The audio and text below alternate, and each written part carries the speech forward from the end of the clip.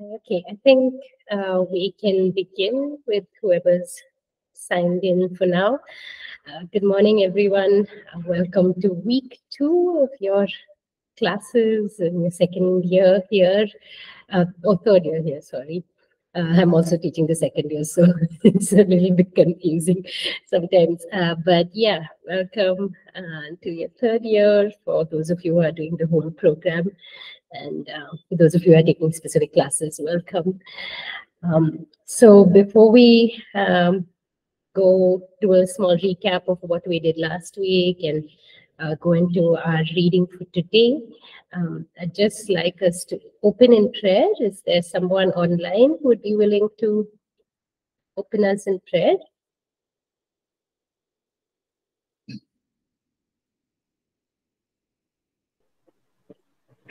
Okay, let's pray. Uh, Heavenly loving Father, once again, Lord, we thank you so much for this beautiful morning. Thank you for bringing us together, Lord, as a team.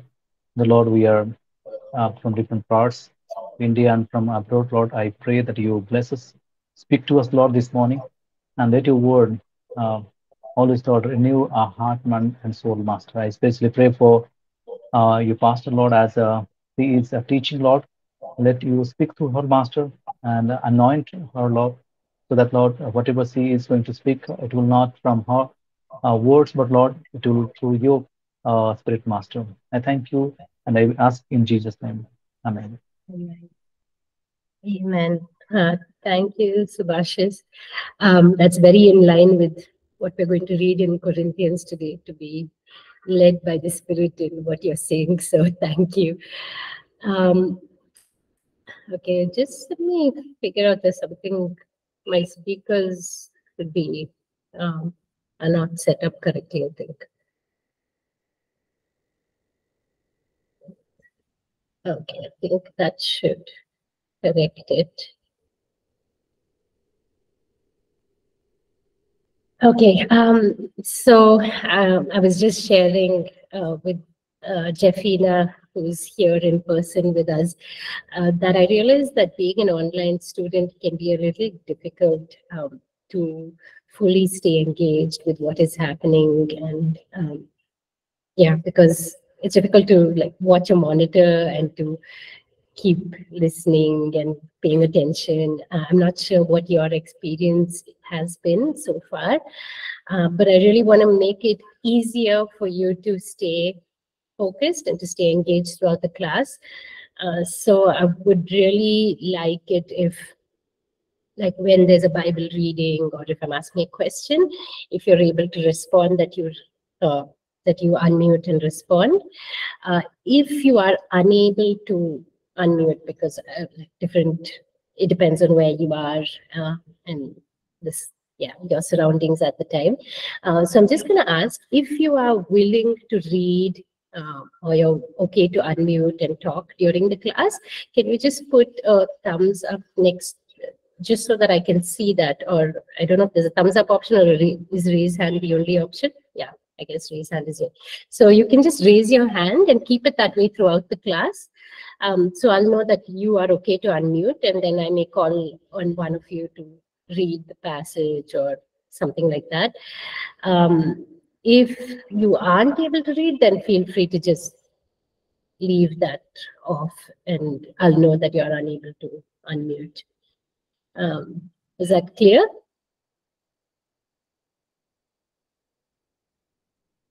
Yes, you can also like type in chat and say yes, or let me know if you're unable to read.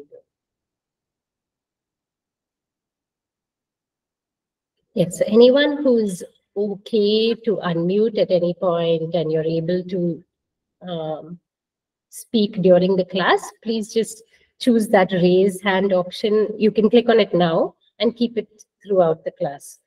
So click on, click on the raise hand option that's on the bottom. Okay, so I think Brother Lubega is available to read. Okay. Uh, Thank you, Zelitoli. Thank you. Um, Okay, so whoever, uh, so Sister Rosaline said that you're available at some point. So whenever you're available, just keep your hand raised. And if at some point you're not available, just remove that raise hand thing. So I'll just look at whose hand is raised so that I know, okay, they can read at this point. And if at any point in between you're not able to read, just remove that. Uh, you can click on the raise hand option again and then it'll go off, right? Okay, thank you. So, uh, Jeffina, you're available, I know. So, okay. Okay, so um, is anyone, um, we'll just do a small recap of what we covered last week in class. So we looked a little bit at the background uh, and a little bit at the culture uh, that surrounded the uh, letter that was written to the Corinthians. Um, anyone remember anything we talked about with regard to the city of Corinth?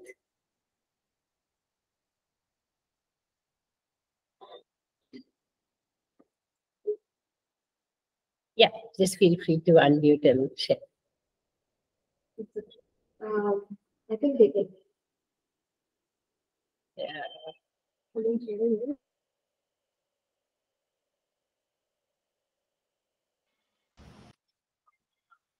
Can you hear me now? Yeah. So uh, we just saw how the Corinthian girls were known as prostitutes and uh, the connection between the Athens and the Corinth and how it's a coastal area and Paul being like a marketplace ministry over there. How the Corinth was a coastal area. And uh, the, Corinthian regions also we looked at uh, the Apollo was in the lower part and I think Aphrodite was in the higher part and uh, we also looked at how the temple prostitution was there and that's how the prostitution also entered into the church and okay so paul was almost doing a marketplace mm-hmm. ministry so mm-hmm. there were lower class people who were avoided because Mhm. some of the Corinthians were really uh, mm-hmm. knowledgeable or scholars or something like that. So paul actually reached the uttermost Mhm. that's one of the things that i learned. And we also saw that he spent 18 months in Corinth, and was one of his second missionary journey. And we also saw about how Apollos came after all. And, Yeah, and there's also one letter that is not in the Bible that he wrote. Corinthians. Okay. I think that's part of the introduction about Corinthians. Okay, so I think Jeffina covered uh, the main points that we talked about. Um, thank you. So we looked at the religious aspect, the um, the uh, economical aspect, um, the geographical aspect of where Corinth was, and um, we looked at also uh, some other things about where Paul was in his mission missionary work when he wrote this letter. And yes that this was not the first letter he wrote. He wrote a letter before this and this was his second letter to the corinthians. Uh, but this is the first letter we have in our bible so um chapter 1 we did up to verse 19 uh, does anyone want to just give us a quick summary of what we did in those first 19 verses? Just maybe in two or three sentences what were some of the main points we looked at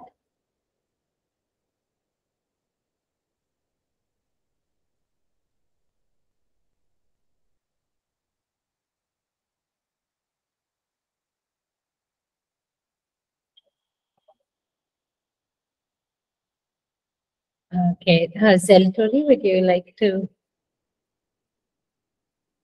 give us a quick summary of the first 19 verses? Feel free to look at your to have your the passage open and then you can share from there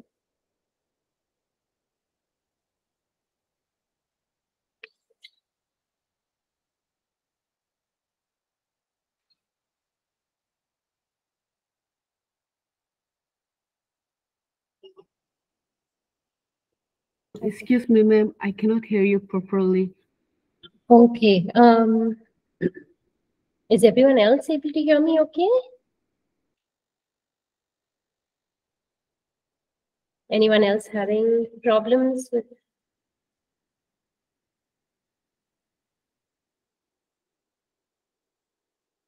Just, uh, you can even post it on chat and let me know if you're unable to hear me, if there's something wrong on my side that I need to correct.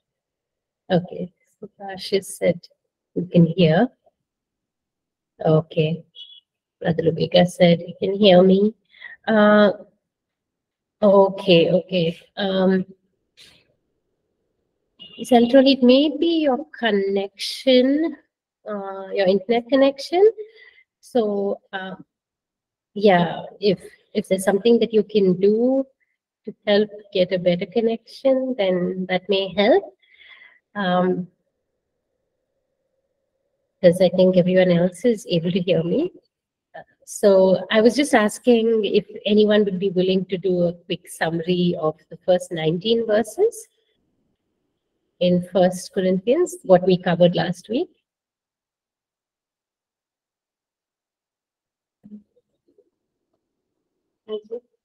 Okay, uh, so Jeffina said she'll share. Uh, yeah, go ahead. Thank you.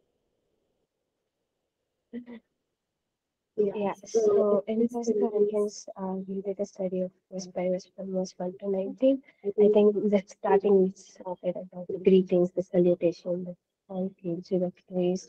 And from verse four to nine, we recognize like what has did for us, uh, especially the grace, the special grace that he has given to each one of us. And I don't know, I just want to note like we also studied about um, standing as a spotless bride.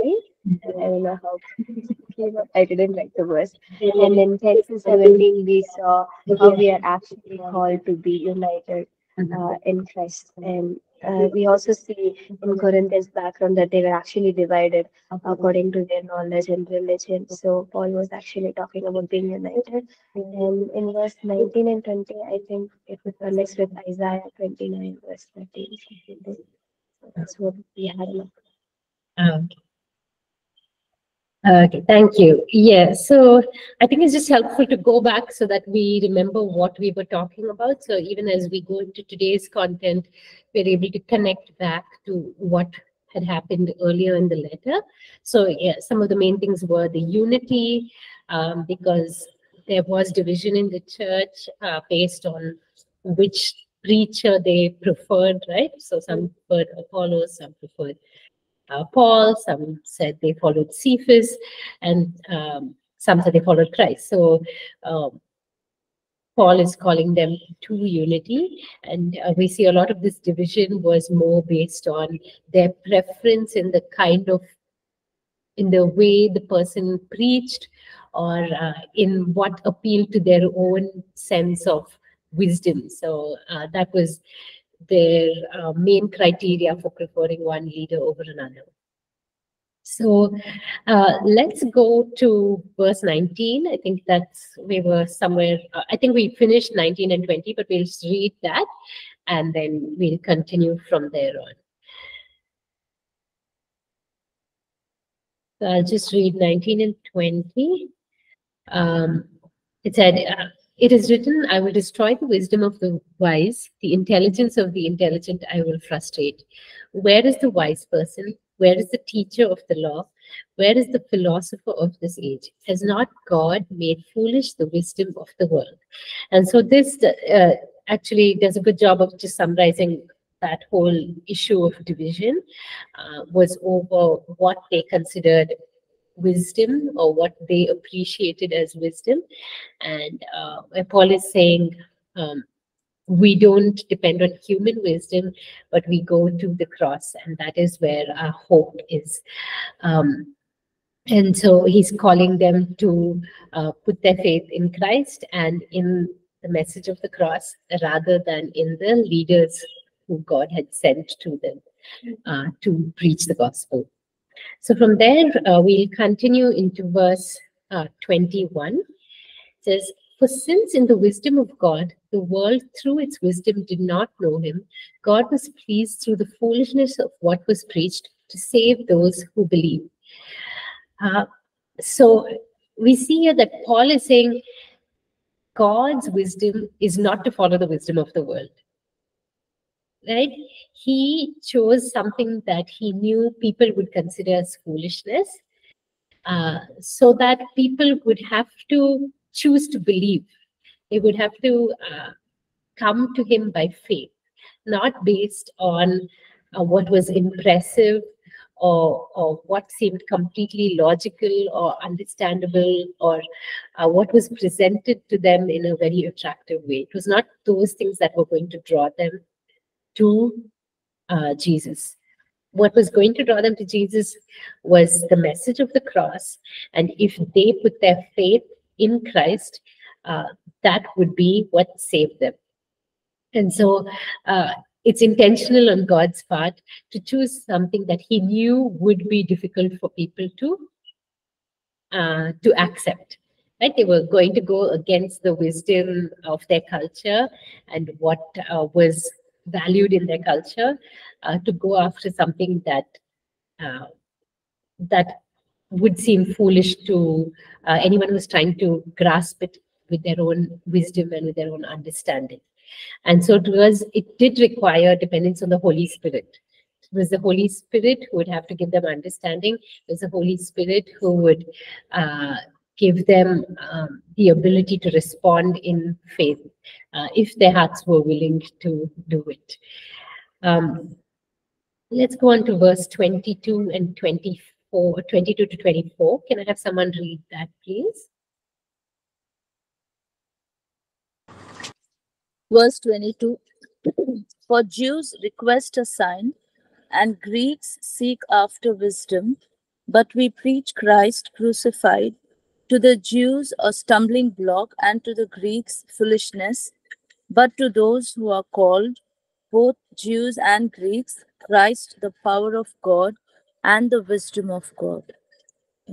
Yes. So thank you so much.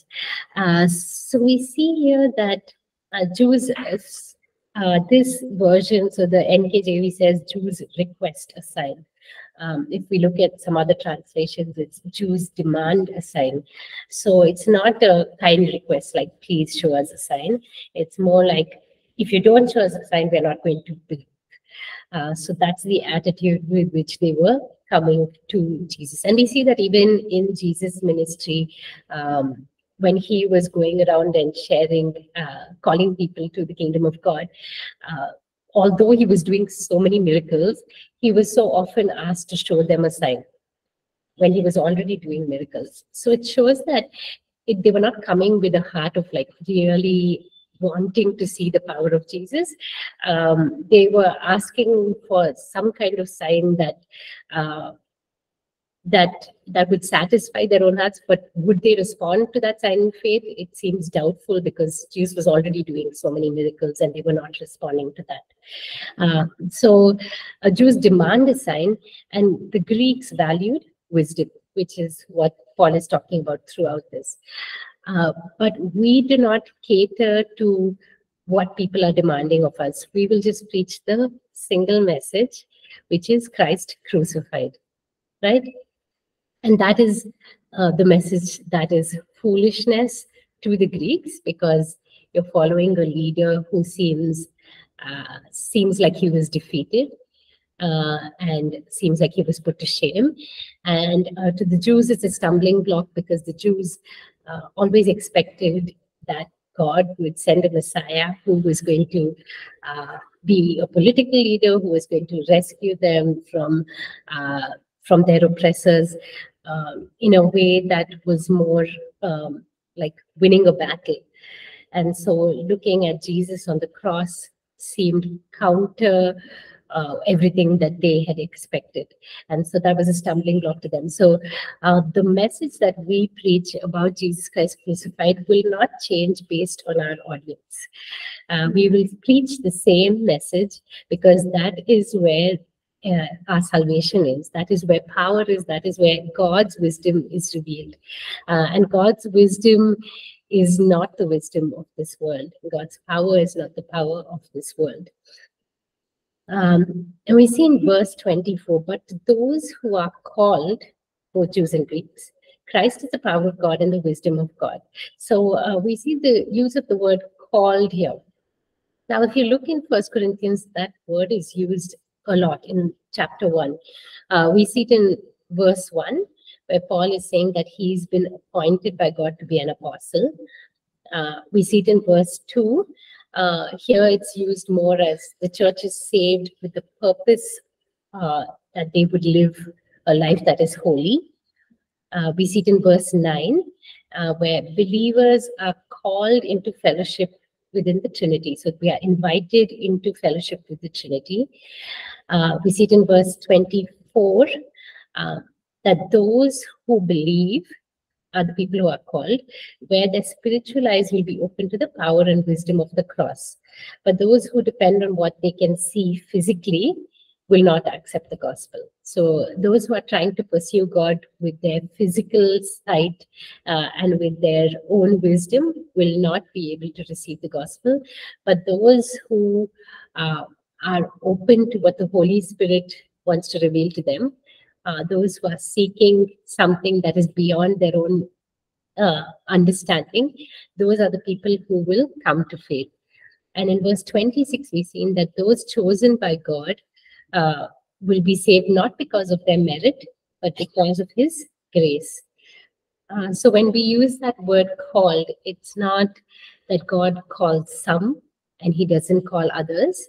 Uh, the call is um, is described uh, is goes out to everyone, right? The gospel goes out to everyone.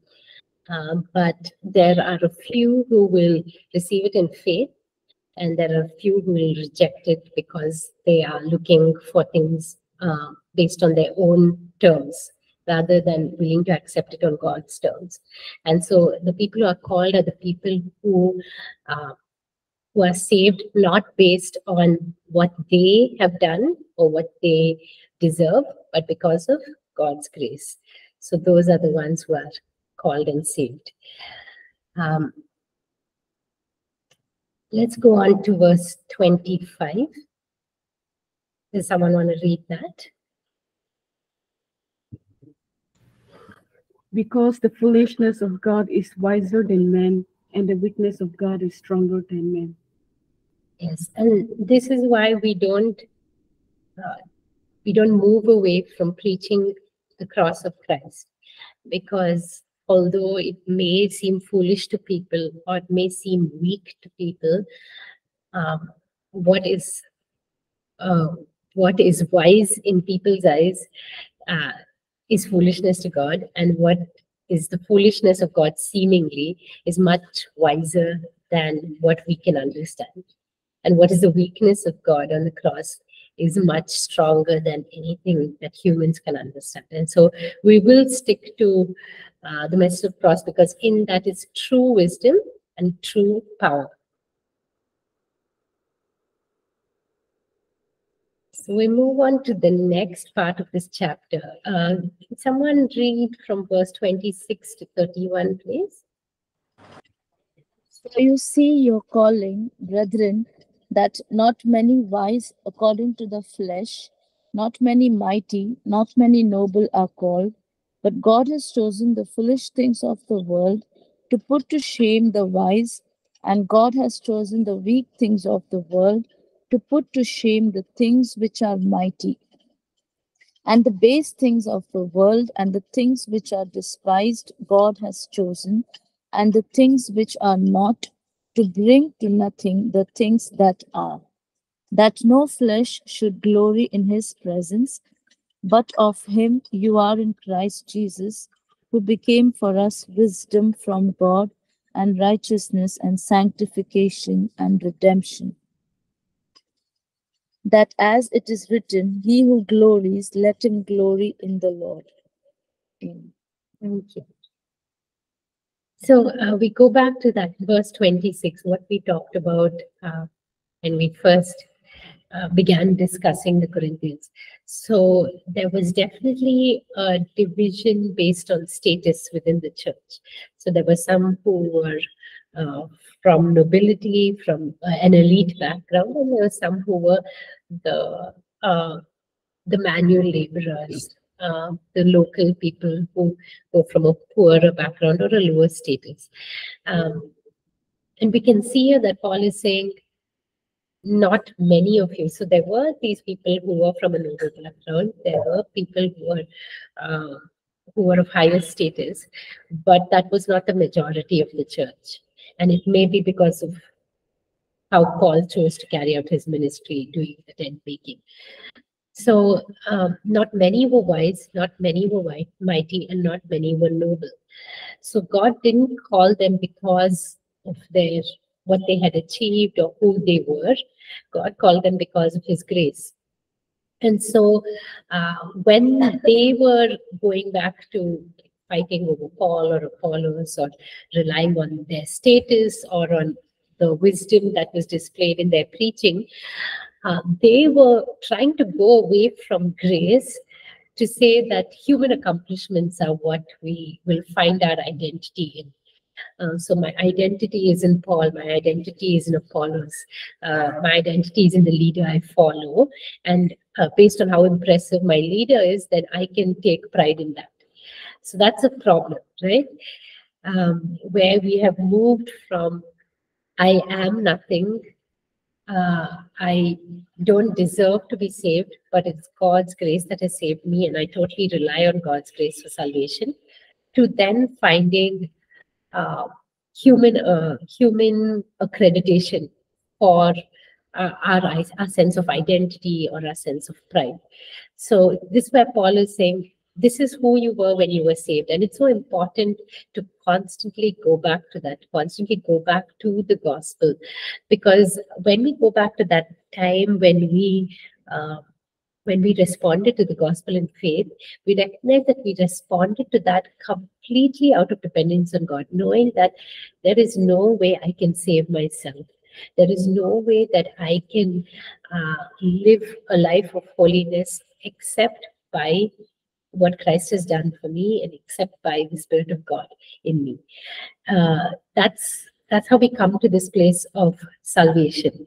And so to go back to that place constantly and remember this is who I am. This is the I, this is my identity as a believer.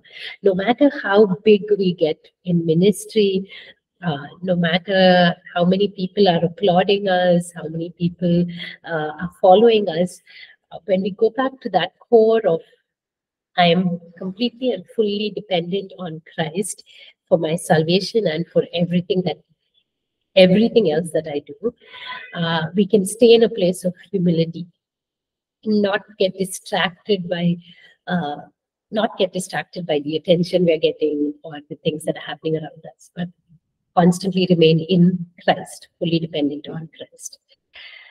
Uh, so in this verse 26, we see um, he's talking a little bit from Jeremiah 9, because later on he's going to go, uh, he's going to quote a verse from Jeremiah 9 24.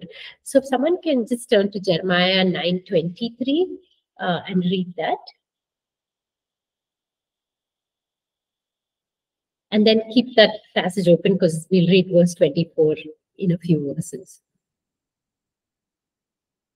Jeremiah 9:23. Someone can read. Jeremiah 9:23. Thus says the Lord, let not the wise man glory in his wisdom, let not the mighty man glory in his might, nor let the rich man glory in his riches. Yeah, so we see um, the same idea that we don't find our glory in uh, in human achievements, in uh, what we own, not in the material possessions that we have. Um, and so that's the same thought that Paul is sharing here in this uh, verse. So verse 27 to 29. Uh, God has, just like God chose what he knew would be a foolish message to people, the cross of Christ, he also chose uh, what was foolish in the eyes of the world. That is, he chose the weak people. He chose the people who didn't have uh, a high status, people who were not considered important. Uh, he chose those kinds of people, uh, and he made them. He made them great. He made them wise. Uh, he made them. He chose them when they were of no importance to anyone else. God Himself chose them. Um, and He gives them value, He gives them worth, so that none of us should glory to should try to take glory uh, when we are in God's presence, right? So verse 29, no flesh glory in his presence. So we don't go before God and uh, and take uh, and act like we have a glory that is separate from him. Uh, we'll look a little more at that use of glory and who true glory belongs to. But none of us can boast before God. None of us can um, glorify ourselves in God's presence. Uh, because when we recognize that we are nothing, God has made us who we are, uh, we recognize that He's the only one in whom we can boast, the only one in whom we can find glory. Um, verse 30 says, But of Him you are in Christ Jesus. Okay. So it says, but because of him, but because of God, you are in Christ Jesus. And Jesus became for us wisdom from God, righteousness, sanctification, and redemption. So the only reason we are in Christ is because of God.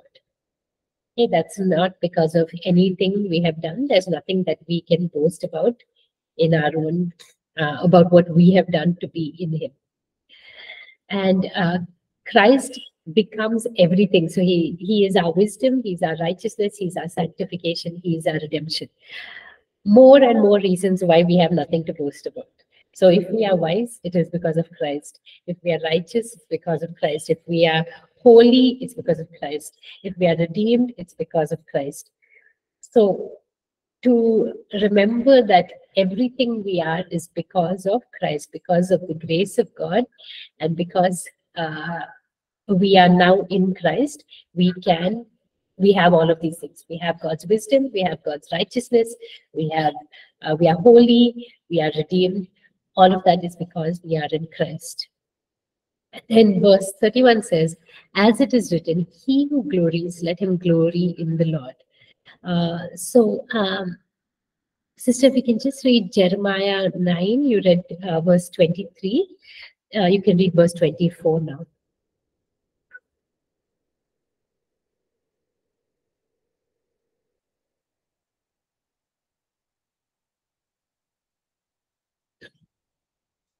Jeremiah 9, Jer- 20. Jeremiah 9:24 But let him who glories glory in this that he understands and knows me that I am the Lord exercising loving kindness judgment and righteousness in the earth for in these I delight says the Lord Yeah. So uh, it says that the one who boasts boasts about this, that they have the understanding to know me. That is again uh, the same kind of thought that Paul is uh, communicating in verse 31. He who glories, let him glory in the Lord. So if we have anything to boast about, anything to glorify ourselves about, it is in God Himself. So if we give glory, we give glory to God. If we boast, we boast in God because everything we are is because of Him. And uh, like Jeremiah 9:24 says, that they have understanding to know me. So the understand, even the understanding to know Jesus comes from God. So because you, I can't even say it's because of my own uh, understanding or because of my willingness to depend on the Holy Spirit that uh, I have come to I've come to faith, and I can't boast in that because that understanding comes from God. Uh, so everything is the grace of God covering us through and through in this process of coming to salvation and then living out our faith in Christ.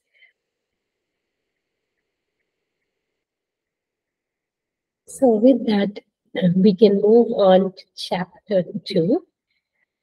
Um, I have here in chapter, in the beginning of your notes, that chapter two has been divided in a few ways. Um, so we won't, that's how we will kind of follow the notes. Uh, so it says, in verses 1 to 5, we're talking about proclaiming Jesus with power. Verses 6 to 10, uh, the Spirit, it's His Holy Spirit who unveils the wisdom of God, who helps us understand the wisdom of God. Um, verses 11 to 12, uh, it's a Spirit who reveals what God has given to us through the gospel. What is it that God has given to us is revealed to us by the Holy Spirit. And then verses 13 to 16, it is uh, the Holy Spirit who enables us to have the mind of Christ. Uh, so, because uh, we are in Christ, the Holy Spirit then enables us to think like Jesus does uh, and to know the things of God. Uh, so, that's a general division of this uh, passage. So, let's begin with verses 1 to 5. anyone want to read that for us?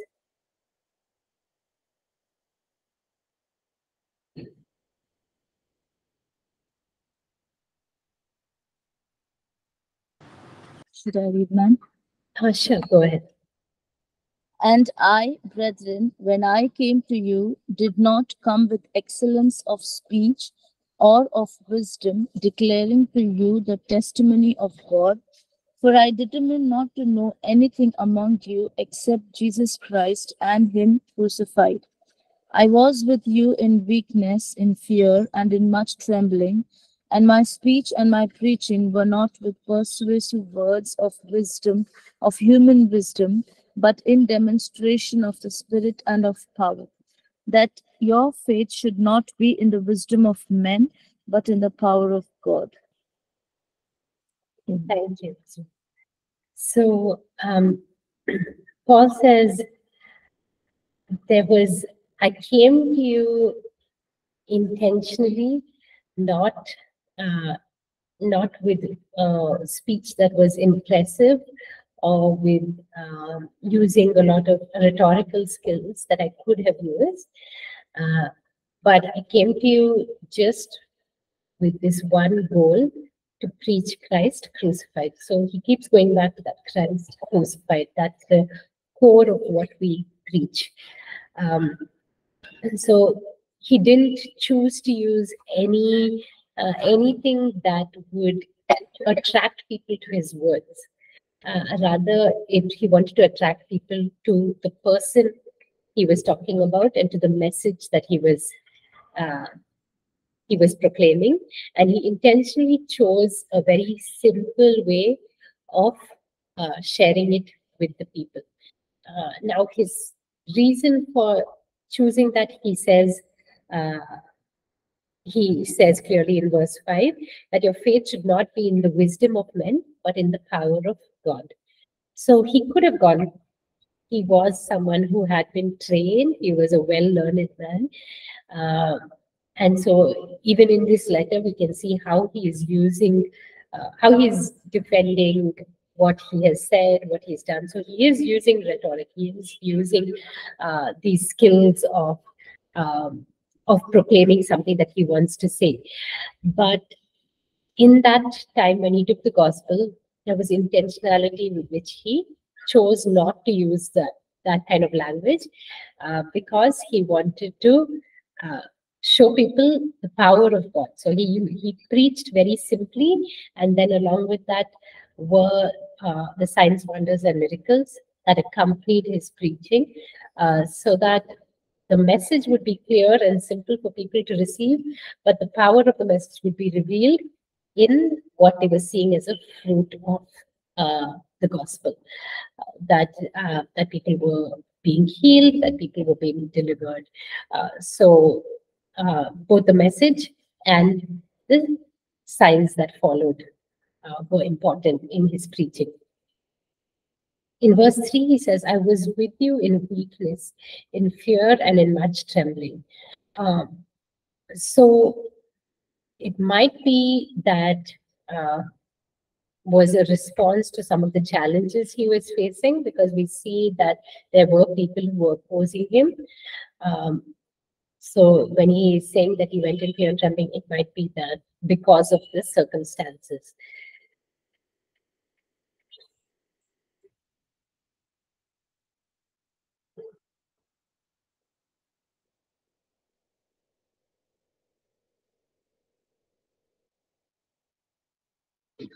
So we see this, I'm just trying to scroll down. Yeah.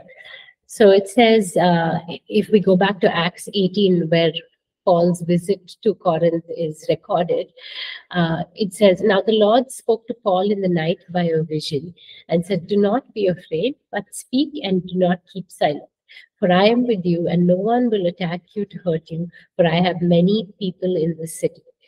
So, um, because he was facing uh, facing some kind of opposition from people, uh, it is possible that he um, he was afraid, and so when even though he continued to share the gospel, uh, he didn't um, he didn't have maybe all of that uh, power that may Apollos had in his preaching, and Apollos was also gifted as a preacher, uh, separate from Paul's gifting. So Paul's gifting was uh, was different, and Apollos' gifting was different.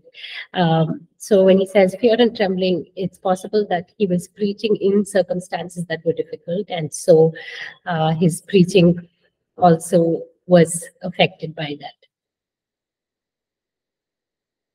But then he goes on to say, verse 4 So my preaching was not with persuasive words, but in demonstration of the Spirit and power. So, uh, so when you think persuasive words, that word can also mean enticing. Um, so some philosophers of that age, uh, there were different views on this. Some of them would say, uh, if you're speaking, uh, if you're speaking the truth, you don't need to have a very uh, convincing way to portray it because you know what you're preaching and uh, if if you're resorting to use uh, rhetoric or you're resorting to use a very uh, like clear way of explaining and trying to prove to people that what you're saying is truth, then uh, they would look down on you. But there was another group of people who said, if you know the truth and you're not able to present it in a way that is convincing, then knowing the truth is a waste. So what Paul is saying is, uh, I know that I brought to you truth, but I was not depending on my skills as a preacher to convince you of the truth. Instead, I was depending on the Holy Spirit. So I was depending on the power of the Holy Spirit to convince you of the truth. So that's where um, the wisdom of God of God is right. The truth doesn't need to come with. Uh, does not need to be. People do not need to be convinced of the truth uh, by what we say, uh, but when they see that word working and impacting people, that itself will prove the truth of what we are saying. Uh, I'll just read a little bit from your notes, which uh, I really liked this part. It says, uh, what you draw, it is commonly stated, what you draw them with is what you draw them to. And so we don't want people to draw, to be drawn to or to base their lives on human wisdom or anything like emotion, entertainment, hyped up marketing, etc. Our goal is to have people's faith established in the power of God. And so uh, when we take the message of the cross, we also want the power of God to be revealed. And we want that to be the thing that convinces people of truth and draws them to God. Um, so I think we just have a minute or two uh, before we take our break anything that you would like to share, any learning or any questions, anything that we've covered so far today?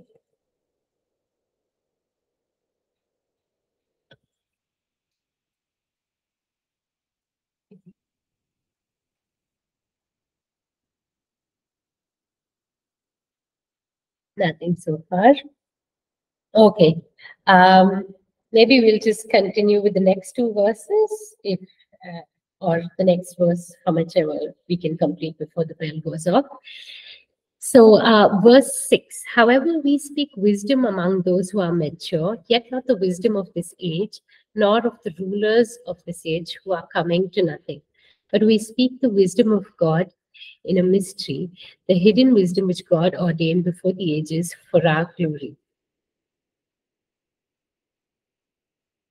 so we see here that Paul is saying, yes, we do preach a message of wisdom. It's not that uh, we are always going to preach something very simple and very plain. No, there are things that are going to be uh, filled with the wisdom of God. It's not the wisdom of this world, uh, but it will be the wisdom of God, and we will preach those deeper, heavier kinds of things to people who are ready to receive it. So it is to those who are mature. Uh, and we'll see later that Paul talks about the maturity of the Corinthians and whether they were even ready for such a message of wisdom.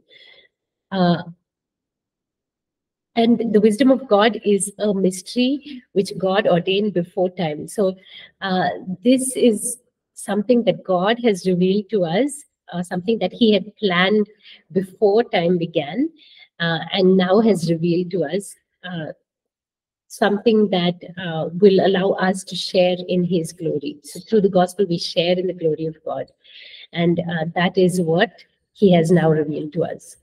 So break time. We'll continue from there uh, once you're back. So we'll come back in 10 minutes. Thank you.